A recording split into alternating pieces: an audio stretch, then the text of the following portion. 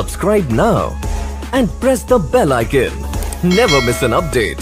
Manipal kitchen ಗ್ರಾಹಕರಿಗೆ ಸ್ವಾಗತ ಇವತ್ತು ನಾನು ನಿಮಗೆ ಬೆಳ್ಳುಳ್ಳಿಯನ್ನು ಗಾರ್ಲಿಕ್ ರೈಸ್ ಮಾಡೋದು ಹೇಗೆ ಅನ್ನೋದನ್ನು ಹೇಳ್ಕೊಡ್ತಾ ಇದ್ದೀನಿ ಅದಕ್ಕೆ ಒಂದು ಪ್ಯಾನ್ನಲ್ಲಿ ಒಂದು ಟೇಬಲ್ ಸ್ಪೂನ್ ಗೀ ಹಾಕಿಬಿಟ್ಟು ಅದಕ್ಕೆ ಒಂದು ಹದಿನೈದರಿಂದ ಇಪ್ಪತ್ತು ಕಟ್ ಮಾಡಿರುವಂಥ ಸಪೂರ ಕಟ್ ಮಾಡಿರುವಂಥ ಬೆಳ್ಳುಳ್ಳಿ ಹಾಕಿ ಅದನ್ನು ಚೆನ್ನಾಗಿ ಬ್ರೌನ್ ಆಗೋ ತನಕ ಕ್ರಿಸ್ಪಿ ಆಗೋ ತನಕ ಹುರ್ಕೊಳ್ಳಿ ಅದಕ್ಕೀಗ ಒಂದು ಕಟ್ ಮಾಡಿರುವಂಥ ಹಸಿಮೆಣಸಿನ್ಕಾಯಿ ಹಾಕ್ಕೊಳ್ಳಿ. ತುಂಬ ಸ್ಪೈಸಿ ಇದೆ ಅದು.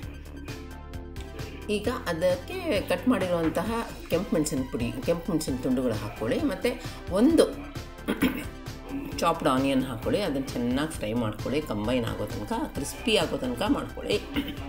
ಈಗ ನೋಡಿ ಕ್ರಿಸ್ಪಿ ಆಗಿದೆ. ತುಂಬ ಪರಿಮಳ ಬರ್ತಾ ಇದೆ. ಈಗ ಸ್ಪ್ರಿಂಗ್ ಆನಿಯನ್ದು ಹಸೂರು ಇರುತ್ತಲ್ಲ, ಅದನ್ನು ಕಟ್ ಮಾಡಿ ಎರಡು ಟೀ ಸ್ಪೂನ್ ಹಾಕ್ಕೊಳ್ಳಿ.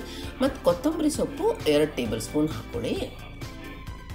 ಅದನ್ನು ಚೆನ್ನಾಗಿ ಫ್ರೈ ಮಾಡ್ಕೊಳ್ಳಿ. ಕಂಬೈನ್ ಆಗಿ ಘಮ್ ಅಂತ ಪರಿಮಳ ಬರೋ ತನಕ. ಈಗ ಅದಕ್ಕೆ ನಾನು ಕಟ್ ಮಾಡಿರೋ, ಇದು ಫ್ರೈ ಮಾಡಿರುವಂತಹ ಗೋಡಂಬಿಗಳನ್ನು ಹಾಕಿದ್ದೀನಿ. ಮಿಕ್ಸ್ ಮಾಡ್ಕೊಳ್ಳಿ. ಚೆನ್ನಾಗಿ ಕಂಬೈನ್ ಆಗೋ ತನಕ. ಈಗ ಕುಕ್ ಮಾಡಿರೋವಂಥ ಅನ್ನ, ಬಾಸುಮತಿ ಅನ್ನ, ಅಕ್ಕಿ ಇದೆಯಲ್ಲ, ಅದ್ರದ್ದು ಅನ್ನ, ಅದನ್ನು ಹಾಕ್ಕೊಳ್ಳಿ ಅರ್ಧ ಕಪ್ ಕುಕ್ ಮಾಡಿ ಇಟ್ಟಿದ್ದೀನಿ ಅದನ್ನು ಹಾಕ್ಕೊಳ್ಳಿ ಅದನ್ನು ಹಗೂರ ಮಿಕ್ಸ್ ಮಾಡ್ಕೊಳ್ಳಿ.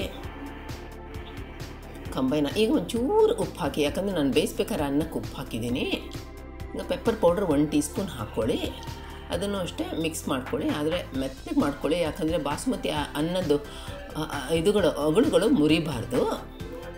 ಚೆನ್ನಾಗಿ ಮಿಕ್ಸ್ ಮಾಡ್ಕೊಳ್ಳಿ. ಈಗ ಜಂಟ್ಲಾಗಿ ಒಂದು ಮಿಕ್ಸ್ ಕೊಡಿ. ಈಗ ನೋಡಿ ಗಮ್ಮಂತ ಪರಿಮಳ ಬರ್ತಿರೋದ್ರಿಂದ ಗಾರ್ಲಿಕ್ ರೈಸ್ ರೆಡಿ ನಾ ನೀವು ಅದ್ರ ಜೊತೆ ದಾಲ್ ಫ್ರೈ ಜೊತೆ ಸವಿಬೋದು ಅದನ್ನು. ನಾನು ಒಳ್ಳೆ ರೆಸಿಪಿಗಳ ಜೊತೆ ಬರ್ತೀನಿ. Bye bye